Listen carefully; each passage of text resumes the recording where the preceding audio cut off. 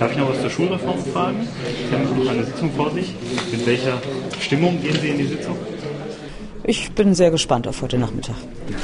Fragen zur Schulreform sind vor allem bei Christa Götsch im Moment nicht sehr beliebt. Ihr Projekt steht auf der Kippe. Die Fronten zwischen Reformgegnern und Senat sind verhärtet. Eltern und Schüler haben langsam die Nase voll vom Geschacher um ihre Zukunft. Meine Stimmung ist so, dass ich sage, ich, ich kann nicht mehr, ich will nicht mehr, ich will nicht das mit mir und meinen Kindern machen lassen, weil es einfach zu viel ist und weil einfach mit Menschen etwas angestellt wird, was nicht in Ordnung sind. Wir sind keine Computer, die man umprogrammieren kann. Es ärgert mich ein bisschen, dass nicht vorher, also dass es so weit kommen musste, dass es diese Fronten gibt, dass man nicht vorher es geschafft hat, auch von Seiten des Senats, irgendwie der Senatorin, auf diese Proteste ein bisschen einzugehen. Es macht mich sehr wütend, weil ich auch weiß, dass sie einfach nur irgendetwas ändern wollen und es ihnen nicht darum geht, dass, das Schulreform, dass die Schulreform wirklich besser wird. Dass es endlich besser wird, hofft Schlichter Michael Otto schon seit Wochen. Und auch heute glaubt der Unternehmer anscheinend noch daran, dass die Verhandlungspartner irgendwann zur Vernunft kommen.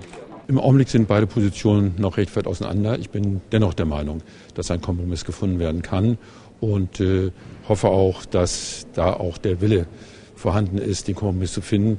Denn das wäre gut für Hamburg, das wäre gut für einen Schulfrieden. Die Volksinitiative Wir wollen lernen kommt jetzt allerdings mit einem Vorschlag um die Ecke, den der Senat eigentlich nur als Provokation verstehen kann. Die vierjährige Grundschule und die sechsjährige Primarschule sollen nebeneinander existieren. Wir bieten an, in einer ersten Stufe nach einer Befragung der Eltern in allen Grundschulen 25 Primarschulen in Hamburg einzurichten, wenn genug Eltern sich dafür entscheiden. Und dann in einer zweiten Stufe nächstes Jahr noch einmal die Eltern zu befragen in den weiteren Schulen und bis zu weitere 25 Primarschulen dann einzuführen. Und dann soll geguckt werden, welche Schulform erfolgreicher ist. Eine Idee, die einen Kompromiss nicht gerade wahrscheinlicher macht. Wir haben da ganz klare Vorstellungen, ähm, die auch unser Koalitionsvertrag ähm, ausdrückt. Und ich glaube, mit den Dingen, die wir jetzt gemacht haben im Bereich Entschleunigung, ähm, das heißt eben stufeweisen Einführung und vor allem des Elternwahlrechts, sind wir sehr weit gegangen.